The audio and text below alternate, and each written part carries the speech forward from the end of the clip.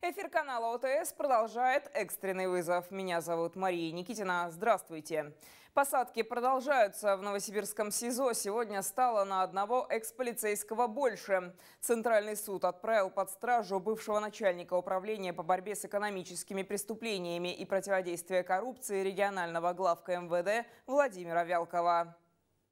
Накануне рано утром силовики ФСБ и следователи СК нагрянули в шикарный загородный коттедж Вялкова в поселке Озерный. Ему предъявили постановление о возбуждении уголовного дела по статье о получении должностным лицом взятки в особо крупном размере и провели обыски. Сегодня сотрудники конвойного подразделения доставили отставного полковника полиции на заседание по избранию меры пресечения. Увидев в коридоре представителей СМИ, один из сопровождающих заботливо натянул на голову бывшего коллеги капюшон. Семейное положение. Дети несовершеннолетние. Бывает. Сколько лет? 4 и 7. Место работы и должность. Сейчас пенсионером найду.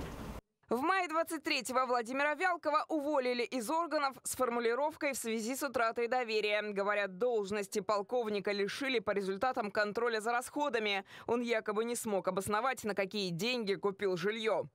Владимир, выскажитесь, пожалуйста, по обвинению. Обоснованно, не обоснованно, на ваш взгляд? Можно без комментариев. Сумму взятки не называют, но по нашей информации незаконное денежное вознаграждение 47-летний Вялков получал за крышевание подпольного производства контрафактного алкоголя. На время следствия судья решила оставить предполагаемого мздоимца за решеткой. Избрать в отношении обвиняемого Вялкова меру пресечения в виде заключения по стражу сроком на один месяц 29 суток, то есть до 9 июня 2024 года. В удовлетворении ходов защитников адвокатов Данилова Плевина избрании в отношении обвиняемого Вялкова меры пресечения в виде домашнего ареста отказать. Сразу после Вялкова в зал заседаний конвой привел предполагаемого посредника передачи взятки. Денис Арисов живет в том же коттеджном поселке, что и главный фигурант. Обвиняемому на время следствия избрали более мягкую меру пресечения в виде запрета определенных действий. Из-под стражи его освободили. Вспомнились былые обиды. 38-летнего новосибирца отдают под суд по статье убийства. В конце ноября прошлого года он расправился со своим приятелем. И обвиняемый, и его жертва сидели в одном из кафе на Красном проспекте в Заильцовском районе города. На почве чрезмерно выпитого алкоголя поссорились. Выяснять отношения вышли на улицу, где после небольшой потасовки, во время которой оба участника размахивали руками и ногами, более прыткий схватился за нож. Удар был прицельный в грудь шансов выжить никаких. 34-летний потерпевший скончался на месте происшествия. В ходе предварительного следствия обвиняемый вину в совершенном преступлении признал полностью. Следствием собрана достаточная доказательственная база, в связи с чем уголовное дело с утвержденным прокурором обвинительным заключением направлено в суд для рассмотрения по существу. Еще одного новосибирца, который буквально накануне размахивал клинком на улице Мясниковой в Калининском районе, вычислили и задержали полицейские. У нас есть видео его злоключений, благо окружающие не пострадали. А, видишь, он тыкает колесо мне. Пост охраны, слушаю вас. Все это, все это видится, все это видится. Вот запись мы просматриваем. Этот человек не в неадеквате. Тут по хозяин пострадавшей машины вы, вызвали полицию. Он орудовал долго, технично кромсая шины автомобилей. Мимо шли прохожие и гуляли мамы с колясками. Чем была вызвана такая агрессия, неизвестно. Люди побоялись вмешиваться. А потом неадекватный персонаж, со слов свидетелей, с тем же огромным ножом рванул через дорогу к остановке общественного транспорта, заскочил в автобус номер 28 и уехал. 11 апреля в полицию поступили заявления о повреждении транспортных средств на улице Мясниковой в Калининском районе. Подозреваемый, используя нож, порезал колеса на автомобилях, припаркованных у края проезжей части. Полицейскими незамедлительно были приняты меры, направленные на установление личности нарушителя. Ориентировка была передана всем наружным нарядам. На станции Заильцовская злодея вычислила система идентификации лиц Find Face. Подозреваемого задержали сотрудники отдела полиции на метрополитене. Им оказался 41-летний житель Калининского района. Пока подробностей его биографии нет. Правоохранители выясняют детали инцидента и сумму причиненного ущерба.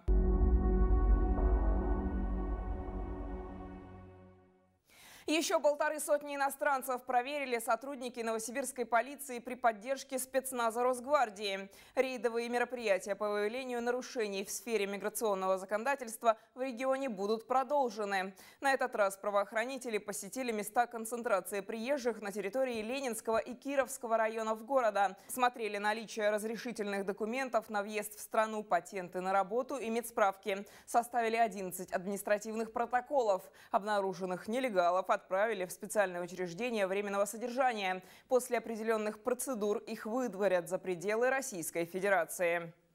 А сейчас, внимание, розыск. Мы покажем ориентировку на предполагаемую преступницу. Если знаете, где она находится, помогите следствию. Телефоны для связи будут на экране.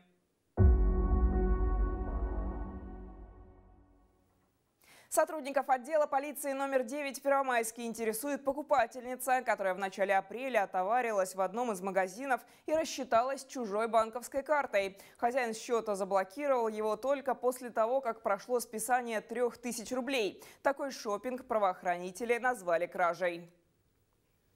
И последнее. Стеллу сносили, но виновных нет. Железнодорожный суд Новосибирска сегодня поставил точку в резонансном уголовном деле. Два года назад общественность взбудоражил факт исчезновения памятника Великой Отечественной войне. Его убрали фактически из центра города ради строительства коммерческого объекта недвижимости. Стелла, из-за которой произошел скандал, расположена на Красном проспекте. Она простояла здесь долгие годы. Несколько лет назад владельцем земельного участка, на котором она расположена, стал застройщик, решивший возвести в этом престижном районе города современный гостиничный комплекс. В итоге Стелла пропала, а историей заинтересовались правоохранительные органы. Исчезновение Стеллы, посвященной 45-летию победы в Великой Отечественной войне, вызвало широкий резонанс в социальных сетях. Ситуация привлекла внимание и председателя СКР Александра Бастрыкина. Через несколько дней следователи возбудили дело по факту ее уничтожения. Впрочем, до суда дошла совсем другая формулировка. К уголовной ответственности за халатность привлекли главу Центрального округа Сергея Кануникова. Хотя, как утверждает чиновник, он все делал в рамках закона и своих полномочий.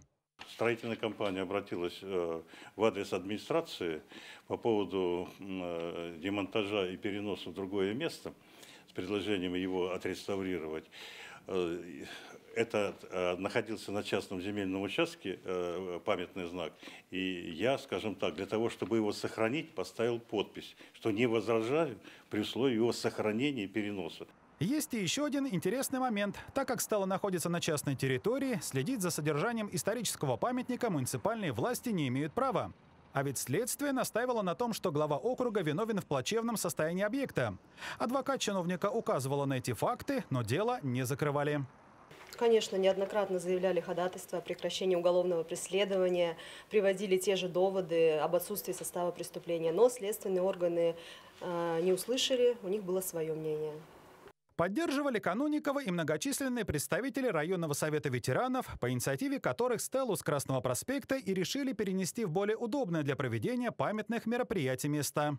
Демонстрацию туда не провести, детей туда не подвести, там негде это совершенно делать, правильно? Удачное место расположения совершенно. Ничего не представляет с точки зрения истории, архитектуры, скульптуры.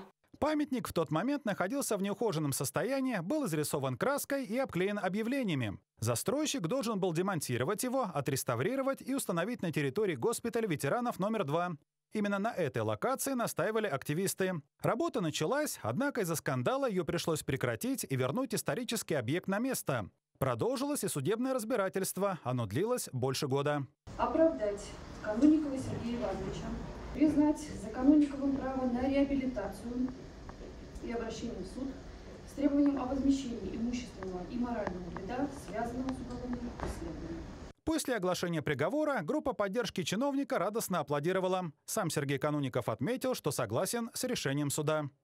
Сейчас Стелла стоит на своем прежнем месте, а прилегающую к ней территорию привели в порядок. Рядом застройщик продолжает возводить отель бизнес-класса, и, видимо, теперь ему не мешает этот объект, который должен напоминать нам о великом подвиге нашего народа в годы Великой Отечественной войны.